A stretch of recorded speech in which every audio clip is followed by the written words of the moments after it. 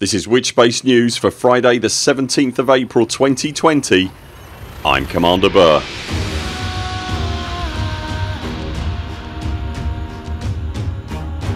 In this weeks news Hutton's Operation Hot Mess completes Fleet Carrier Beta gets an update Loose Screws is hosting a roundtable on fleet carriers and Frontier are hosting a community movie night.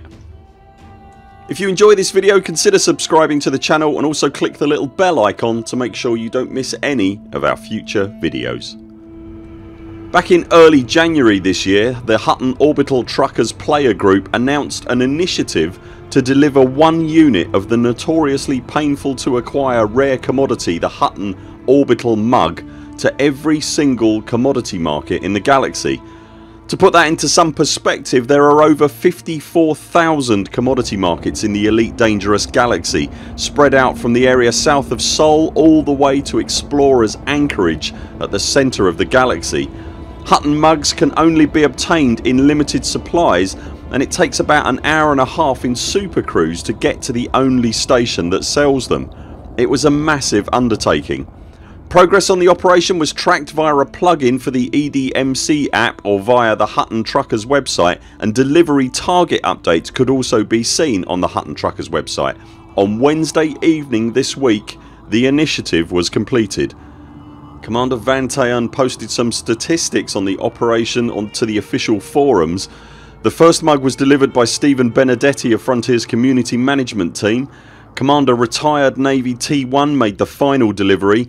In total 322 commanders took part.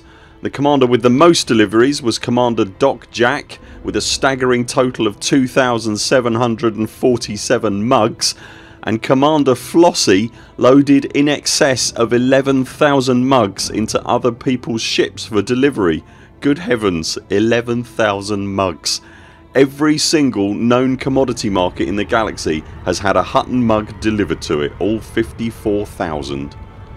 In no other game and in no other gaming community would something like this be possible or even considered and let me just finish on one final quote from forum luminary Alec Turner Upon hearing the news of the final delivery he posted that the Hutton truckers were quote a shining example of what can be achieved with resolve, determination and good humour. Quite so Alec. It would be fairly impossible to escape the news this week that the Fleet Carrier Beta currently running until the 20th had had an update a couple of days ago addressing the community's feedback and concerns specifically. We've got into more detail in the video linked on screen right now but in case you missed it the main headlines are a slashing of the upkeep costs and the jump timers and the addition of universal cartographics for the second beta next month following some vigorous community feedback. As we've mentioned the second beta will be starting sometime next month and that beta will also allow console commanders to tinker with the planned update. Expect more changes to the system before it finally launches in June. While we're on the subject of carriers the Loose Screws podcast are hosting a roundtable discussion with what they're calling their low sodium super friendos this Sunday at 1500 UTC.